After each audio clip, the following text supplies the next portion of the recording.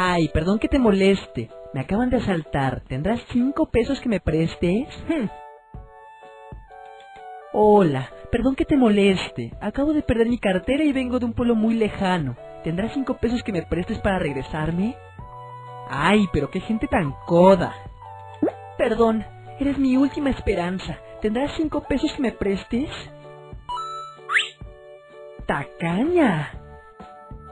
Ricky, ¿qué estás haciendo Ay, qué bueno aquí? que te veo, Copi. ¿Tendrás cinco pesos que me puedas prestar? Mm, desgraciadamente no, pero me dirijo a ayudar a unos amigos con una mudanza. Probablemente ellos puedan facilitarte el dinero si les ayudas un poco. Ay, te estoy pidiendo cinco pesos.